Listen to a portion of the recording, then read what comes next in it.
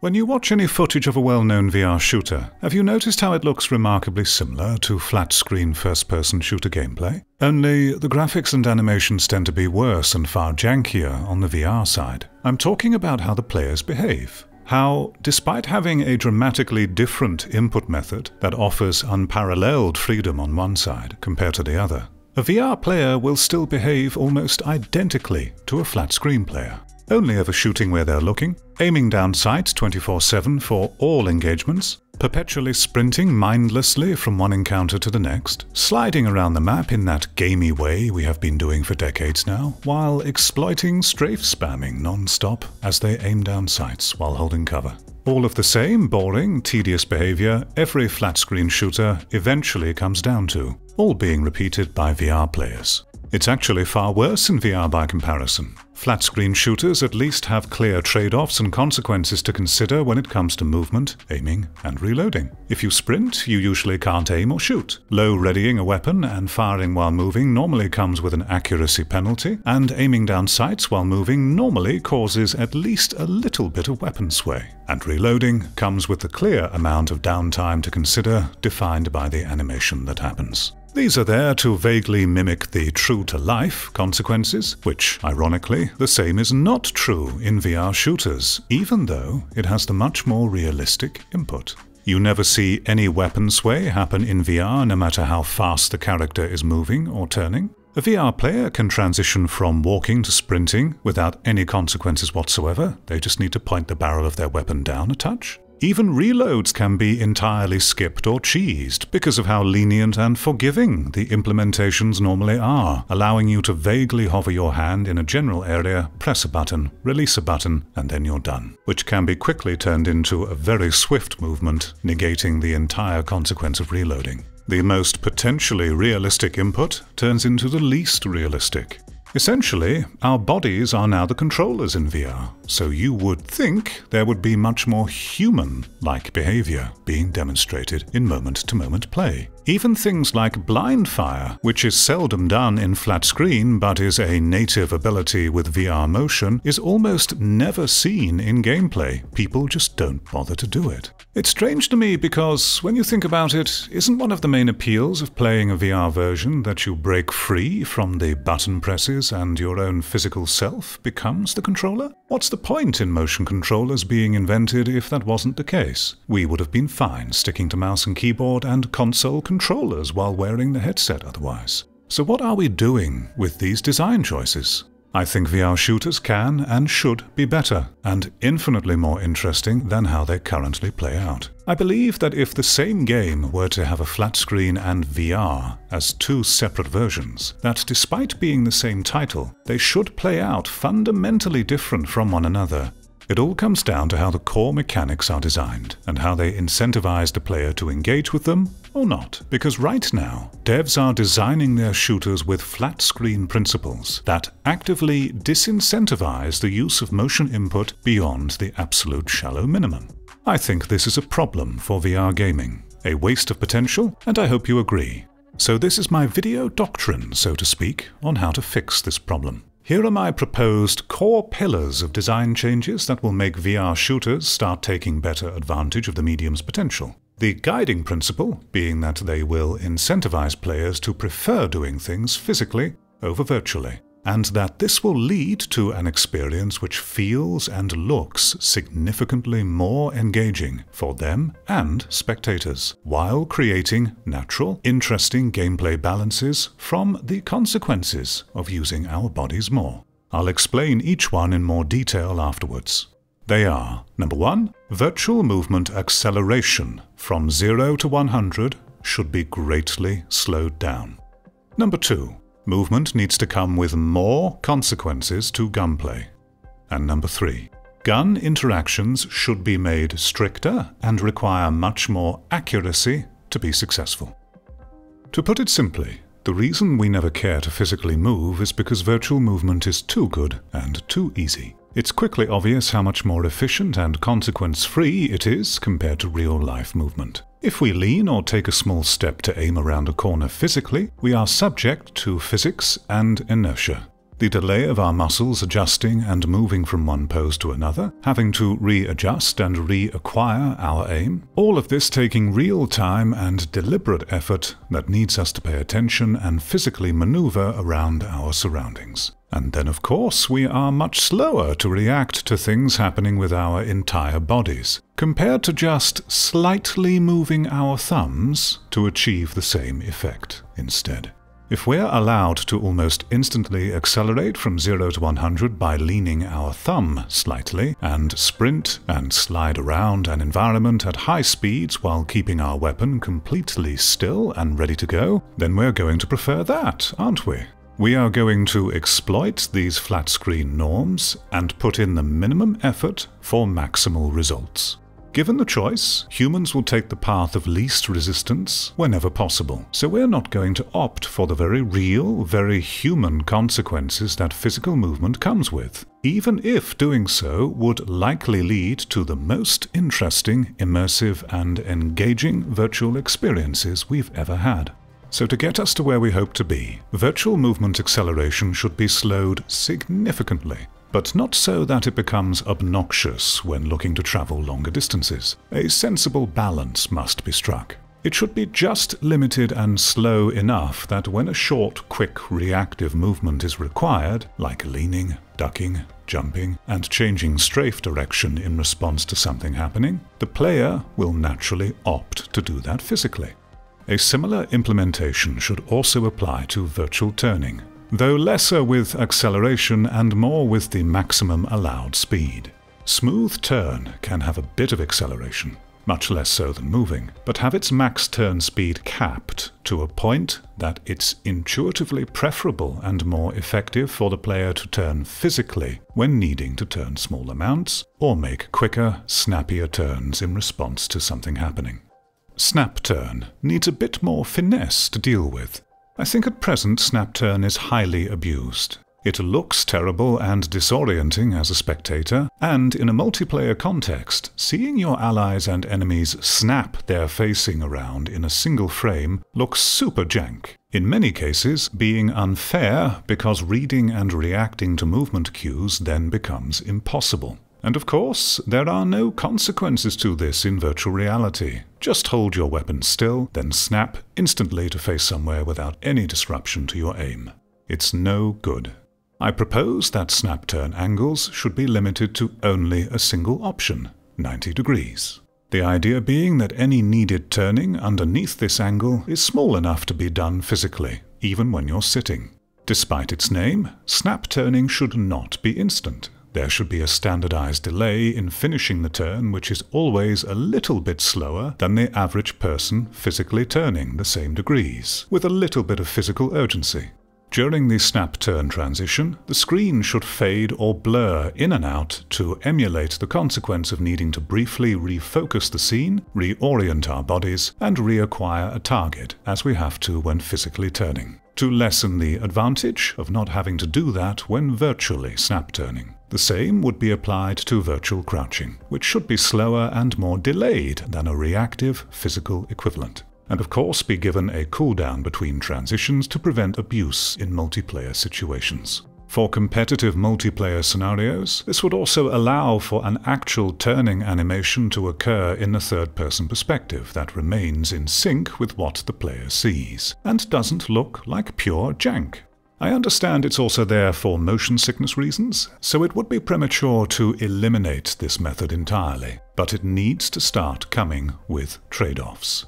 And it seems to be the case that the more a player is required to physically engage, the less they are stricken by motion sickness, because the physical response matching up better to the visual helps the brain to accept what's happening. So for this reason too, we should aspire to encourage more physicality. Movement in a VR shooter has next to no meaningful consequences at the moment, with players for too long being able to have their cake and eat it. With how things are now, their guns and arms may as well exist in a completely different dimension, ignoring anything else that happens and results in players treating VR shooters more like a light gun or on-rails shooter game instead. Luckily, there is a solution to this, which has existed for many years but has been left mostly unexplored. One that, with some focused refining and iteration from dedicated developers up to the task, can work in harmony with the principles of engaging physicality that take proper advantage of motion controls. Arm swinger movement. Now I don't like calling this arm swinger, because for those who have tried it in past iterations, there are large downsides which seem insurmountable, and so will immediately dismiss it.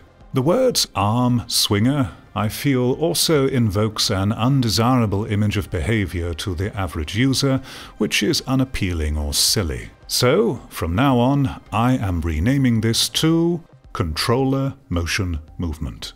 Rather than just explain, I think it's best I also show with my own actions. So let's go to a live demonstration from future me. Here is how the current implementation of Arm Swinger works. Both of the thumbsticks will turn your character, left or right controller. You can press a button on either controller to allow your character to move forward virtually. I'm pressing the right button at the moment, you keep that held, you move forward. The same with the left. You can press them both at the same time to move faster, combining the speed. The speed can be set on the options.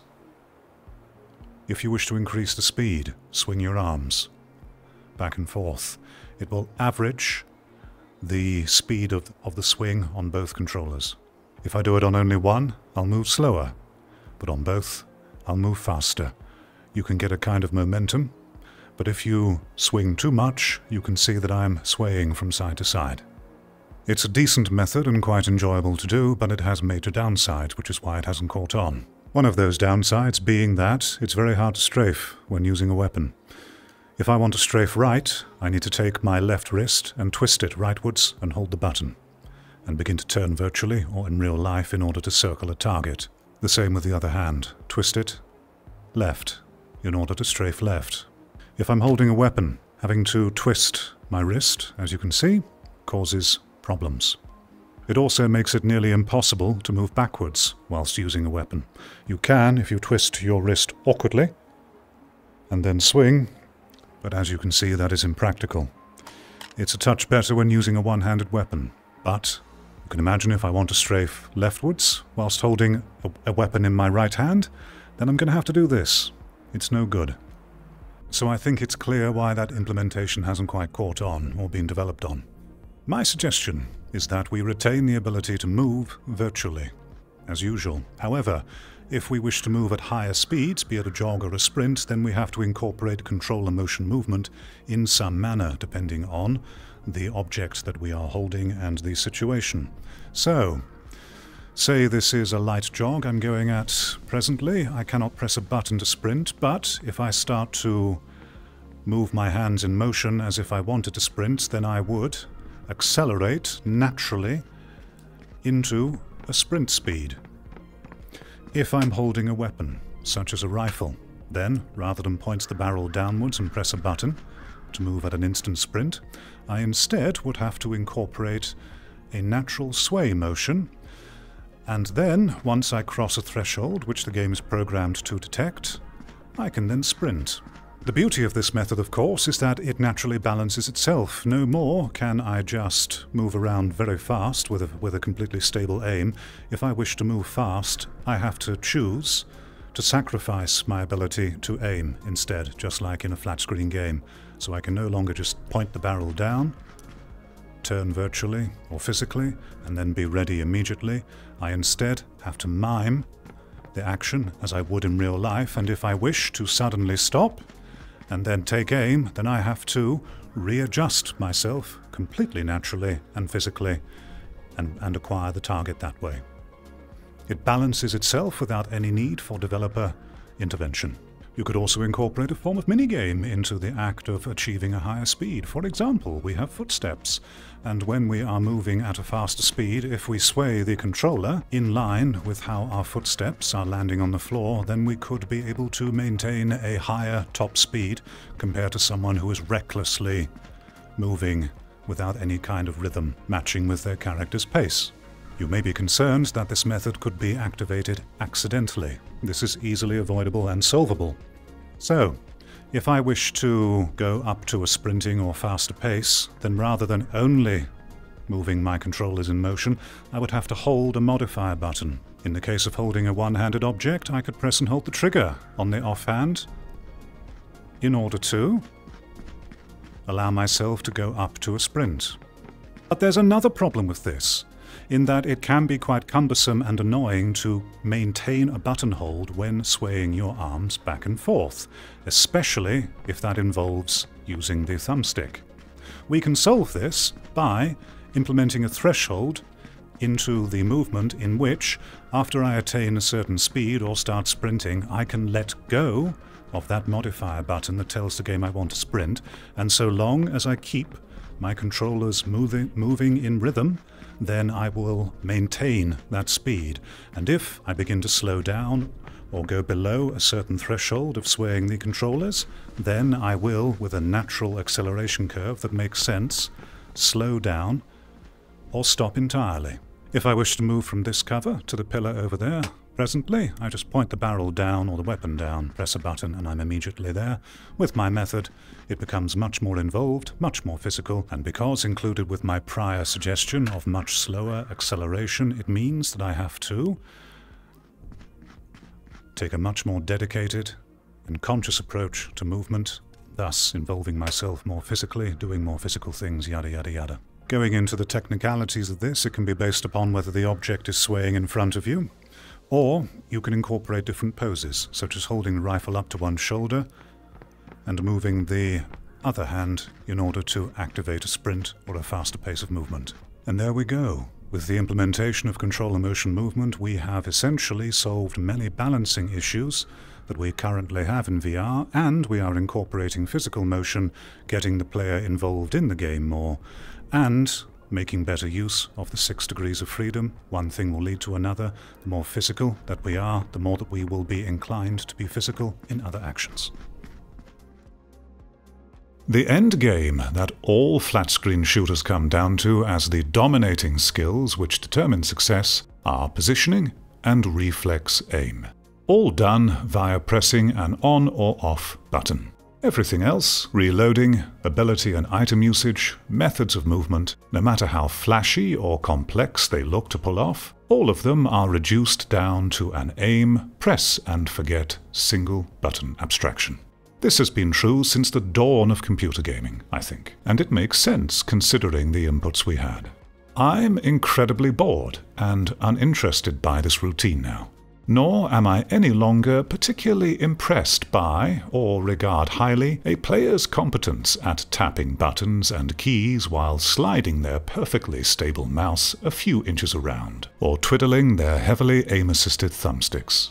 I feel this is an incredibly narrow skill set that works only in favor of an even narrower percentage of the demographic, while everyone else, who may have other skills which could set them apart, but clicking and pressing binary buttons could never have them realize, are left out in the dust and not represented in any way. There are so many nuances of skill expression that our bodies and entire being could show in a shooter scenario beyond just positioning and aim. So many variables in the equation to make moment to moment play so much more interesting, diverse, and allowing for brand new avenues of success.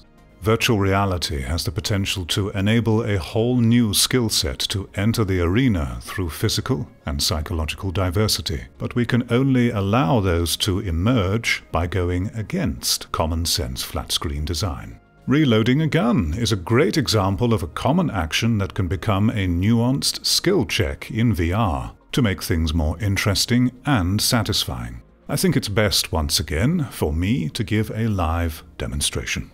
As I mentioned earlier in the video, reloads are something that can be cheesed very easily in VR, so I'm calling for things to be much more precise, akin to how it is in H3 VR, the only VR game that I've played which adheres to firearm interactions being much stricter, and thus requiring a level of skill and finesse from the player in order to successfully perform them, especially under pressure. At the moment, you have to be very, very, very precise with how you insert magazines. Now, I don't think that things should be quite as strict as this. I think there should be a little bit more leniency. However, what we have here in H3VR should be used as a base template and a nice middle ground should be found. These interaction spheres are also incredibly precise. I think, at the very least, these interaction spheres should be doubled in size, or perhaps by 1.5 times. Again, we want precision, but still more leniency than what H3VR offers and a similar level of finesse needed for things like rifles, which in itself looks fantastic and feels very satisfying to do. I'd like you to imagine for a moment that there is a firefight happening between two players of roughly equal skill, one of whom is a better aim than the other. They have both failed to kill each other and now they both need to reload at the same time. In traditional shooter terms, you would just press a button and reload would happen. The player with a better aim will win that encounter most of the time. But in VR, with the freedom of movement, the six degrees, rotation, all of that stuff, the skill of remaining calm and reloading can become a serious player in determining who wins that encounter. Now, the other player is a better aim than me, say, but I have a skill at remaining incredibly calm and precise and fast when it comes to doing my reloads. So the magazine goes in, the bolt goes back, and I'm ready to go. But the other player, who is a very good aim compared to me, but is not good at staying calm and reloading under pressure, they fail and fumble and stumble with trying to get the magazine in, whereas I'm already good to go, I take aim and I successfully defeat that player. This is just one example of the numerous little skill expressions that can be brought into play when it comes to shooters in VR if we make the interactions far stricter. And this will usher in a new era of gaming interaction and relevance of skill sets beyond the stagnant skill sets that we have for flat screen, which I believe will make it more interesting, dramatic, and creative for player and spectator alike. And as I keep on saying, one thing will lead to another. Here's a summary of my argument and solutions up to now. Six degrees of freedom motion controls are being wasted and only utilized to the bare minimum of what they could be.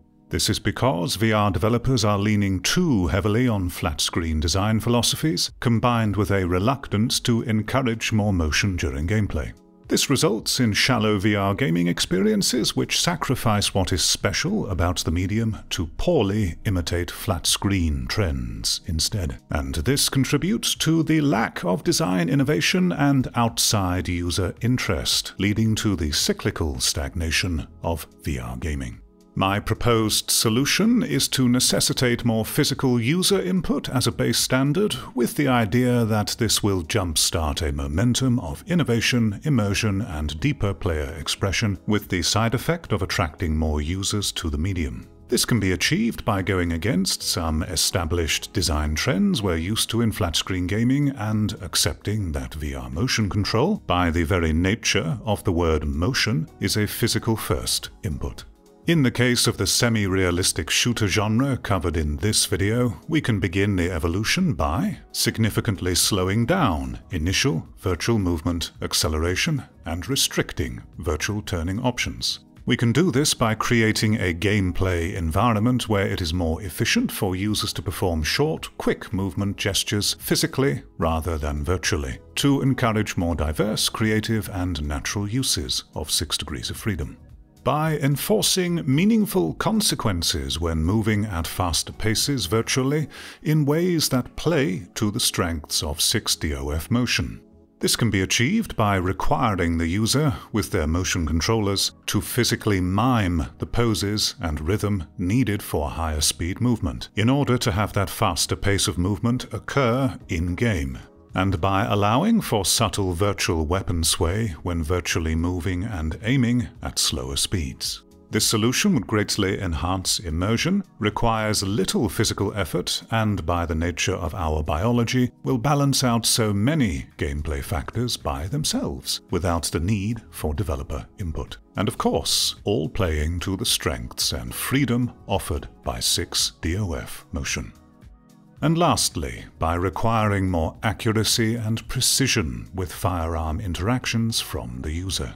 This would allow for more player skill, expressions, and creativity to enter the gameplay equation, greatly diversifying and refreshing the shooter arena. And it further plays to the strengths of 6DOF motion and moves gunplay away from gamey abstractions which reward players for cheap abuse rather than genuine ability.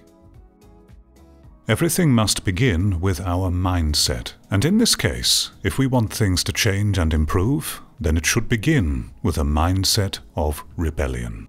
Long-time established conventions of basic design, which we'd normally always include in our games without thought, must now have their suitability questioned when making a VR game we should carefully scrutinize whether mechanics that have been considered good common sense design for flat screen might actually be bad for VR when we imagine how we want the player to interact with motion controls, and if necessary, actively design against traditional conventional wisdom. Things as basic as how you implement virtual movement responsiveness can be a crucial factor in how much a player does or doesn't engage with physical motion and all the extra nuances that can lead to. Virtual reality input is a different beast. It uses the analog nature of our bodies, a reversal of flat screen design philosophy in many ways a philosophy whose end goal for input has always been to abstract as much as it possibly can down to a single binary button press. So we need to undo the flat screen mindset and start to think of how we can exploit VR motion to unabstract things where possible. And we need to have the confidence in why this would be a desirable outcome to begin with.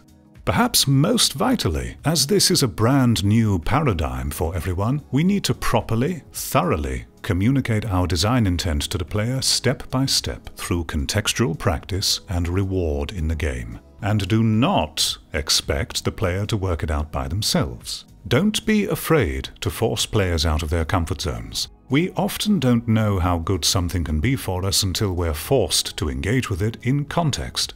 Whenever people publicly seek to do something against the norm, the masses will often condemn and reject this reflexively. Thoughtless herd mentality is still very much alive and well in our species, especially online. Be vigilant with the pushback you receive, particularly from anonymous internet strangers. Consider who they are, if you can, and what motivates their reactions before deciding how trustworthy or seriously they are to be taken. And remember that we can't make something for everyone. Trying to do this only gives the blandest, most uninteresting results that, in the end, no one will really care for. Some people won't be able to participate in your game for various reasons. This is nature and something we can never completely account for. But don't let that fact get in the way of attempting to push interesting innovations either. I hope these explanations have been convincing enough and sold you on why these design choices would lead to much more interesting and engaging gameplay scenarios than we currently get in VR. Ones which would spearhead the creation of an environment that starts to properly use the input and fosters the next stage of gaming evolution we all came to virtual reality for. Especially if you feel similar to me, bored of the stagnant, mechanically predictable, limited ways traditional shooter design has been bound to, and are also, like me, deeply saddened to see this design trend persist with VR motion, where it turns gaming's greatest innovation since the leap from 2D to 3D into shallow, wasted potential of what it could clearly be. I want to reiterate that I no longer find it impressive or stimulating to have gameplay devolve down to who is best at spamming keys to exploit some aspect of the design, especially in flat screen multiplayer shooters, which feel less and less like playing against dynamic humans and more like bots algorithmically going through the same tired routines of optimal button spamming. We've clearly hit the limits of what we can do with traditional inputs. And we are crazy to try and have those limits also be imposed on VR. Virtual reality is a clear and obvious liberation from this stagnation. the next logical step in interactive media. A new frontier, the fantasy of being truly within the world come true, and all of that cheesy stuff. VR is inevitable for our societies, one way or another. An evolution that has unfortunately emerged during a time of profound creative bankruptcy choking risk averse corporatization of our art forms, and social demoralization and division, particularly in English speaking Western cultures, who are the ones mostly helming VR development. So, it's taking much longer than we hope for it to really catch on. On flat screen, if my suggestions were to be implemented there, would feel clunky and awful, and everyone would probably rightfully hate it. But remember that this is VR, our bodies are the controllers now. It requires an opposite approach in many ways. And all of those restrictions are deliberately in place for players to naturally and easily solve by encouraging and rewarding physical movement, which we as designers understand will lead to a better play experience. I believe we actually want these consequences much of the time. Our very natural biology inclines us to be engaged by using our bodies in fun and challenging contexts. And I think the prospect of real life physical consequences becoming a part of the game is what attracted many people to VR when they learned about how the input works that it would be a breath of fresh air from being hunched over a desk, slowly developing back problems and carpal tunnel syndrome in your wrists, repetitively using a device that was made for a typewriter just to participate in the stagnant, samey flat screen gameplay. It's about the fantasy of really being in the game, and is why it wasn't enough in the early days of virtual reality to only have the headset without any motion controls. Please do back me up in the comments section if this was true for you. And we are also not excluding those who cannot physically move much for whatever reason, but making it clear that VR motion is a physical first input, and choosing to avoid being physical will come with less optimal results. Consider this video one random stranger's tiny little droplet of contribution into the river that may one day break through the dam halting VR progress to where we want it to be. Hello again everyone, it is future me doing a separate recording. I feel there's a need for clarification after going through the script, so I'm doing this live without any notes. Go me. I want to address some of the obvious things, which some of you may think in opposition to what I've said, factors such as these things being dependent on how you want the game to play.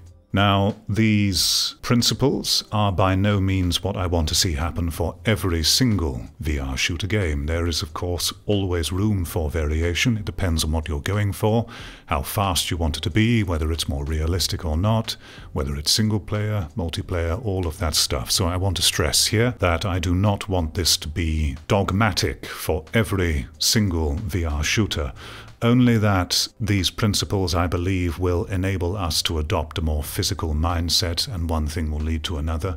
But of course, if you're making a more classic, fast paced arena shooter where realism and those physical consequences are not really something that you care for, you want it to be more fantastical, yada yada yada, then yeah, use more flat screen design principles. And I also think that maybe a few of you will say, I want VR to usurp flat screen gaming entirely. I believe it will inevitably be preferable to be in a VR version of a game than see it on a screen, but there is plenty of room for VR and flat screen to exist side by side.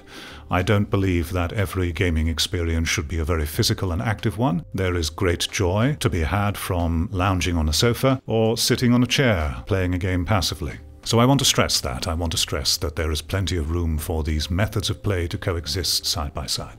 And I want to clarify my meaning of movement in VR too. Now, I worry that when I talk about moving around more, that I invoke the sense that I want us to be diving around our play spaces, and some of you may object and think, oh, well, I don't have that big of a play space, I can barely move, blah, blah, blah, blah. That's not my meaning at all. When I say movement, I literally mean just taking a little step around where you're standing here and there, and physically turning more, and crouching down something which you should be able to do if you are playing VR, standing If you are in an environment where you can't even outstretch your arms halfway and attempting to play VR, then that is on you. You should not be playing in that environment. So, yes, when I say movement, I mean turning physically, leaning physically, and taking a step here and there physically, not diving around the play space. It would be wonderful if we all could do that, and I would love to, but yeah.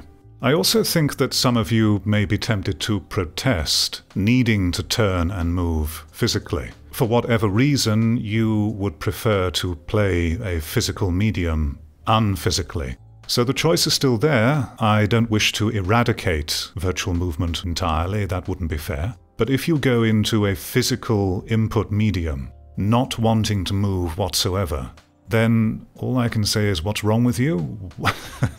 Why don't you want to move even a little bit, even if it's just leaning or turning? Movement by itself, the way that our bodies are designed and the way that nature has built us, is that we are naturally engaged by moving. We are rewarded by moving and using our bodies. We're given natural chemicals and dopamine and rewarded for making use of these bodies that we have.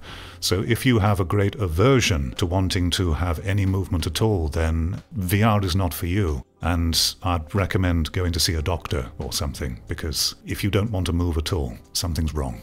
And also on the topic of movement itself, there are things that we have a resistance to doing at the moment, such as crouching down to pick up things in VR, something that has been alleviated by implementations like teleportation grab. It's very important to note that our bodies have inertia and momentum. So if you were standing and playing a VR game now, standing up straight, barely moving, only moving your arms up and down to aim a weapon, when you encounter an item that you need to pick up off the floor, it feels cumbersome, annoying, irritating to do, so you would naturally think, oh, I want it automated for me. The reason why it's difficult and undesirable to do a simple action like bending down is because your body is not already moving in a rhythmical way to get momentum. If we are naturally much more physical and emotion moment to moment through play, such as moving our arms a little bit more, leaning and taking steps, then because our bodies are already engaged and in motion, so to speak, then the act of bending down to pick something up will instantly become much more acceptable and not a bother at all. I challenge you to try this with any VR game you presently own. Move around in the virtual world, but I want you to mime your arm movements as if you were actually in the world and turn more physically. And keep on moving your arms in line with what feels natural with how fast you're moving in the virtual world. You will recognize that when it comes to bending down and picking things up or having to adjust your pose, it becomes so much easier because you're already warmed up. One thing will lead to another. And finally, I want to go back to what I feel may be an impulsive and innate resistance to the idea of having to move even a little bit more in VR. Alongside what I just said earlier, I would ask you to really think about why you are resistant to that to begin with. When you when you hear the idea of needing to move around a bit more and you have that reflexive, oh, I don't want to, why should I? I invite you to consider where is that impulse coming from? What is that resistance born from? Why does the idea of having to move your body more, one of the most natural and intuitive things that is part of having these bodies, why are you resistant to that? Has that idea been seeded from something else that you heard or learnt before? Are you actually truly thinking for yourself why you wouldn't like it? Or are you just reacting thoughtlessly? We are all vulnerable to hive mind thinking and being socially influenced in ways that we don't realize. It happens to me plenty of times. But really stop and think why am I resistant to having to use my body a little bit more? Where is that coming from? Why is it so bad to me? And maybe that will take you to an interesting place and you'll come to learn more about yourself and be willing to try more things. Okay, that's everything that I can think of. If you made it all the way to the end of this video, thank you very much for your patience and your time. And also a personal thank you to my patrons, whose collective generosity remains the reason that I am still here making these videos. Thank you so much. See you next time.